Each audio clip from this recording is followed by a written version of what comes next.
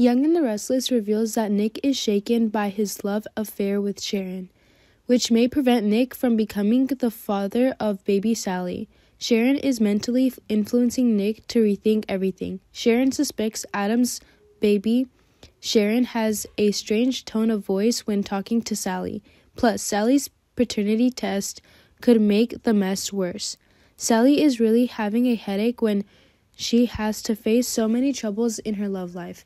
She needed a stable job so that she wouldn't have to depend on any man. Jill might open her heart and give Sally a chance. Adam will have a private talk with Sally. Adam doesn't know that Sally is pregnant. However, he noticed that Sally seemed tired and he felt worried about her health condition. Adam knew that it was something big and serious based on the way Sally acted. However, Nick kept Sally's pregnancy a secret when Adam asked him about his old flame. It seemed after a long time, but the image of Sally still made Adam unable to forget. He always felt sorry for her. That though Sharon might not have told Adam that Sally was pregnant. However, Adam can connect the dots, especially if he follows Sally. Maybe Nick telling Victoria Newman about Sally's double secret will lead to Adam finding out the truth.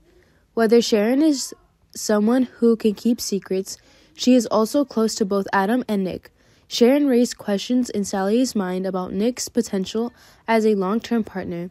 Adam might be suspicious of catching Sally talking to Sharon privately.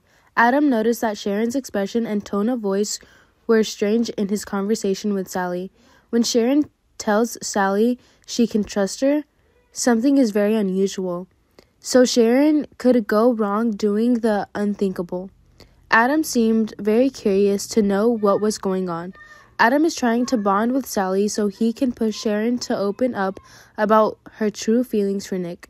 Sharon is a smart woman and often tries to do the right thing, whether or not she gets back with Nick, while Chance is also flirting with her. Besides, Faith's return could be an opportunity for Sharon and Nick to get back together. Sally's child can get in the way of Sharon's long term plans. So, will Adam and Sally join forces to affect Sally's paternity? Remember to keep up to date with everything that's going on with Y&R right now. Come back often for details, news, and updates on The Young and the Restless.